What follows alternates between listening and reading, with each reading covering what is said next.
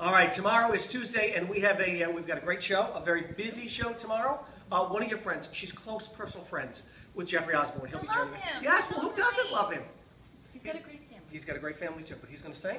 He's going to sing. Yes. He's going to talk to us about his uh, upcoming Celebrity Charity Classic that not only brings a lot of celebs into Rhode Island, but Sure. it does a lot for a lot of local nonprofits too. He always gives back to the community. He knows his roots. He's He a guy does. who knows his roots. He does, and one of the nicest guys around. Also, uh, Square Peg's Restaurant will be cooking tomorrow. Good.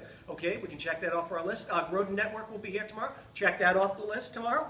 Sounds like a good Tuesday. Probably should join us. 9 o'clock, WPRI 12.